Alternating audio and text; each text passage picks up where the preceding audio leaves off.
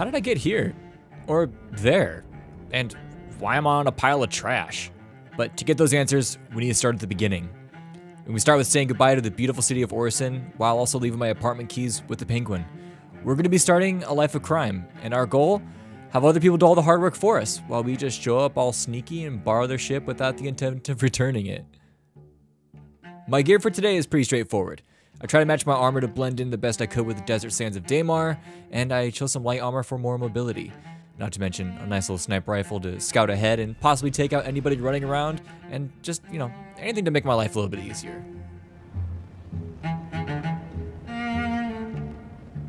We're headed off to Brio's Breaker Yard.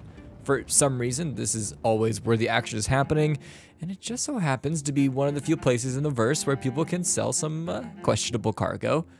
And since I'm running solo, I'm hoping to just land and sneak onto a careless cargo runner ship. Thank God I remembered to pack some extra patience. This whole night operation was a complete bust. Nobody was showing up.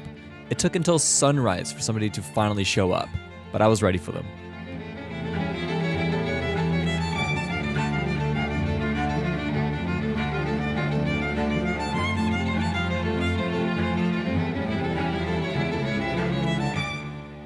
I found a good little spot to keep an eye on this A2. My shot was lined up and I was just waiting for the elevator to come down for me to strike.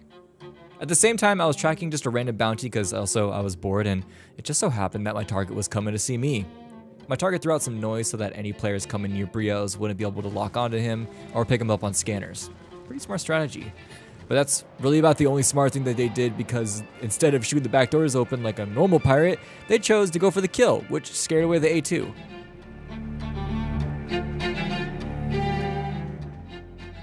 While my bounty target was scaring off the A2, it gave me a chance to run into the facility and prepare for them to land and sell once they hopefully shake the cutlass.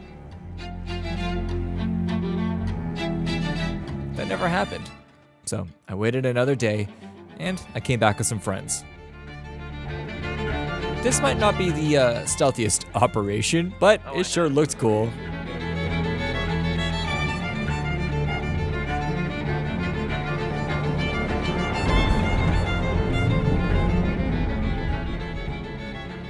The one downside to our presence here is that anyone wanting to sell would just fly over us, like the C2, casually just noping out of the area. But just out of range, we were after a juicier target one of our pilots found.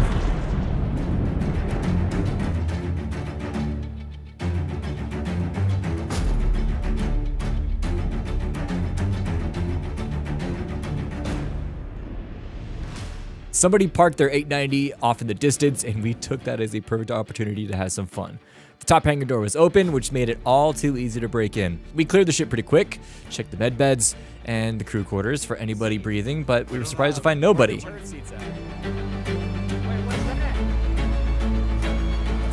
Whoever owns the 890 named Arcadian, thanks for the joyride.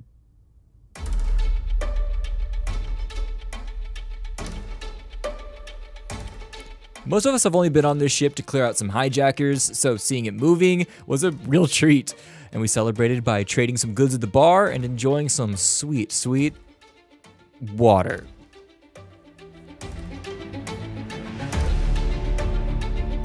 We were on our way to Microtech. We wanted to land and load up some ground vehicles and play on the ice a little bit. You know, totally normal pirate behavior. We know that we could have been out salvaging or stealing salvage for an ungodly amount of space credits, but you know, we thought we deserved a little R&R.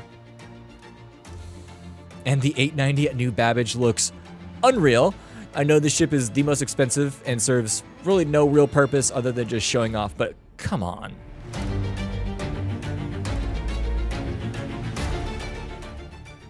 I grabbed my luxury Lynx rover to bring on board, but we ran into a major issue. Our OCD got the better of us, and we closed all the hangar doors. And because we don't own the ship, we can't open the ship anymore. So now it's just a useless 890 sitting there mocking us. Now it seems like the only way to relive this dream is to actually do some hard work of salvaging.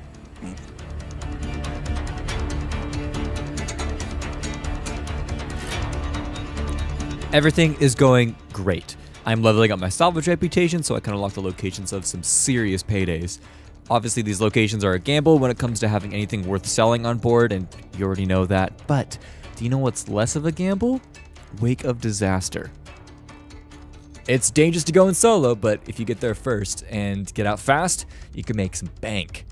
That's exactly what I intended on doing.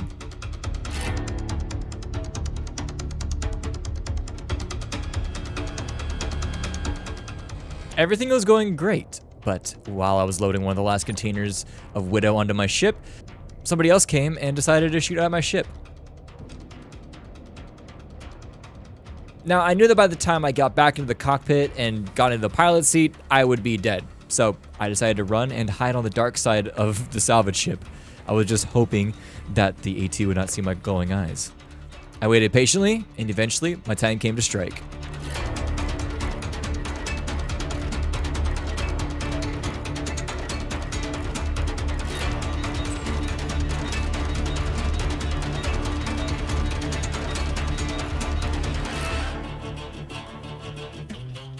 Looks like I outpirated the pirate, and so I took his body as a trophy and headed over to the Carrack. First, though, I had to make sure there's no other friends on board. I didn't want to get snuck up on.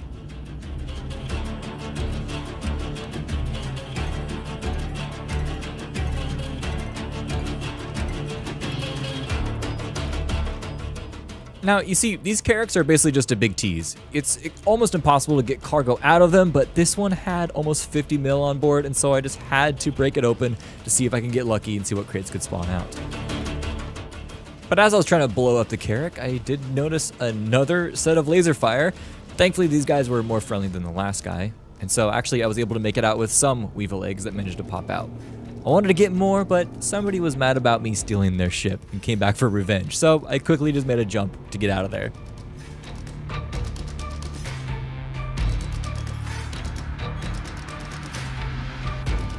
And as I jumped away, I remembered that I had the trophy on board, and that's exactly how that person would track me, so I needed to dump it ASAP.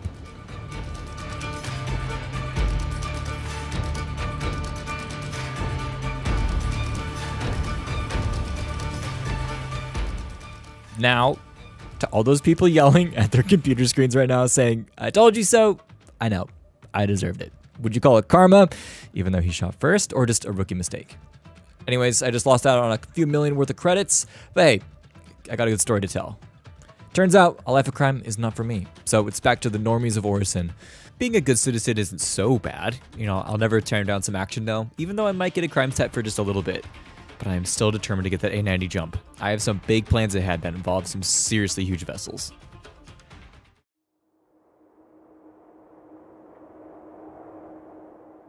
I want to introduce you to someone, but I've got to be upfront. He's a bit of a shitty character. But here's the twist. I met him ages ago out in the black while I was salvaging. It was honest to goodness work, and it's how I made my fortune. While I've done well, he makes it seem like I'm broke, and I figured I'd call in a favor. He's got a history, no doubt, but there's something about him. It's just intriguing.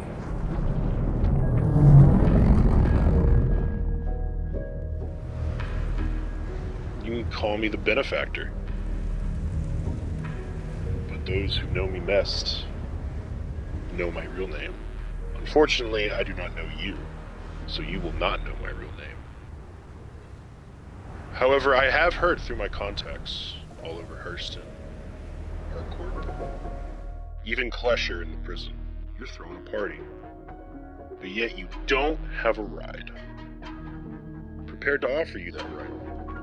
Yeah, the party it was a it was a pretty closed invite, but you know, there's with a ship like that, ship like the 890, I'm sure we can make some space.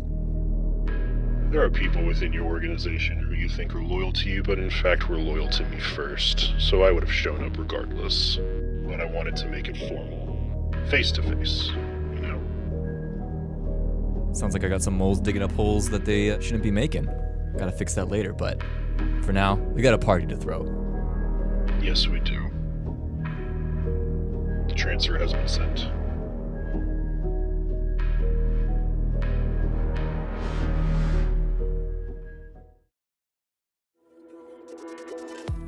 Thanks for making it to the very end of the video. You're an absolute legend. I have so many fun videos in the pipeline that I cannot wait to share with you. So make sure that you don't miss a thing by doing all the basic YouTube stuff, leaving a like, subscribing, commenting, you know, telling me if karma got me killed or whatnot.